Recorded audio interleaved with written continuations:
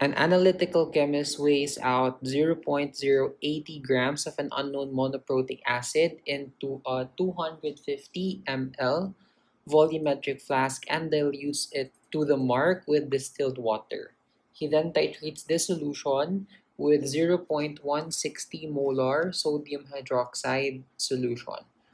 When the titration reaches the equivalence point, the chemist finds he has added 11.0 ml of NaOH solution. Calculate the molar mass of the unknown acid. So in the problem, we are given an unknown acid, unknown monoprotic acid, and we can represent that as HA. And then in the problem, the unknown monoprotic acid is titrated with NaOH. So HA plus NaOH. So your acid plus your base.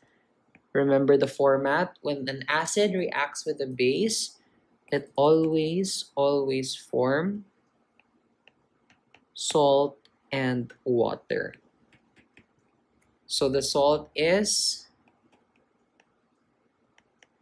NaA plus water is H2O. So as you can see, this reaction is already balanced. So according to the balanced reaction, 1 mole of the acid reacts with 1 mole of the base, which makes sense because the acid is monoprotic acid.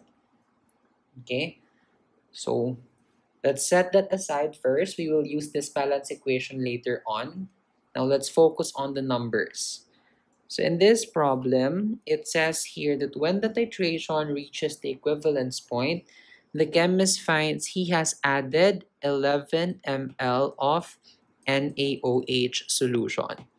So we start with 11.0 ml of NaOH solution.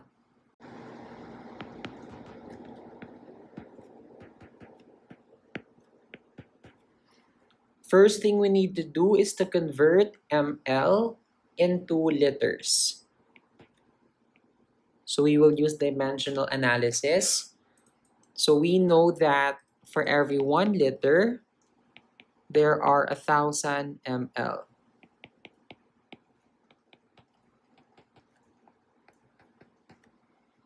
Okay, so the mLs would cancel out. Now we have liters of NaOH. And according to the problem, the molarity of NaOH is 0.160 molar. And what do we know about molar? When we say molar, that's moles per liter or moles per 1 liter. Therefore, when you say 0.160 molar, that's just the same as saying that there are 0.160 moles per 1 liter. Okay, and we will use that in our calculation. So for every 1 liter of the NaOH solution, there are 0.160 moles of NaOH. So the liters of NaOH would cancel out. Now we have moles of NaOH. And this is where the balanced reaction will apply. So as you can see from the balanced reaction, as we have said a while ago, one mole of the acid reacts with one mole of the base. So we can put that in our calculation. 1 mole of the acid reacts with 1 mole of NaOH, the base. So the moles of NaOH would cancel out and this will give us the moles of the acid. Now I want you to grab your calculator and let's calculate the moles of acid.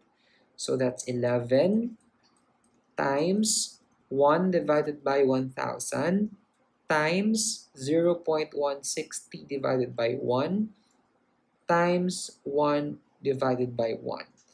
And that is approximately equal to 0 0.00176 moles of the acid. Now that we have the moles of the acid, we can now solve the molar mass of the unknown. Remember how do we calculate molar mass?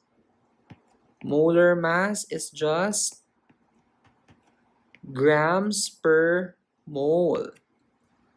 So in the problem, we are being asked for the molar mass of the acid.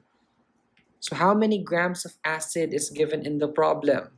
We are given 0 0.080 grams according to the question. Divided by how many moles of acid are there? We have solved this a while ago. 0.00176 moles. So 0 0.080 divided by 0.00176 and that is equal to approximately 45 grams per mole.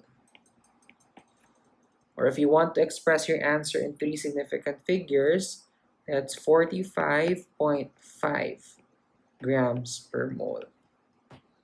And this is the answer to the question.